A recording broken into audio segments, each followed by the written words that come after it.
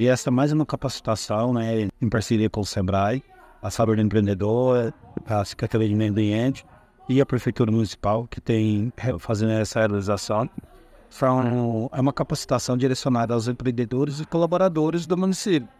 Essa capacitação é direcionada a atendimento ao cliente, direcionada a como fidelizar, como conquistar, e todas as demandas direcionadas a aumentar né, o, o, a carteira de, de, de clientes do, de cada empreendimento, né? seja ele prestador de serviço, seja ele comerciante.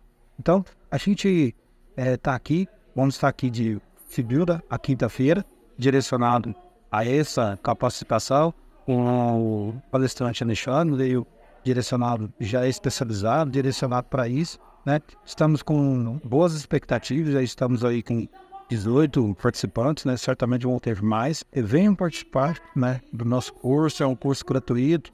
A única coisa que a gente pede é que a pessoa que venha participar fique até o final do curso, que senão ele não consegue o certificado, né? Que tem que ter 80% de, de presença.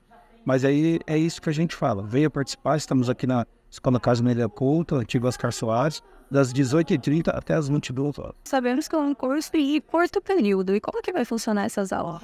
As aulas vão ministradas, é, que é um curso de 16 horas, serão ministradas é, em quatro períodos, em quatro dias, né?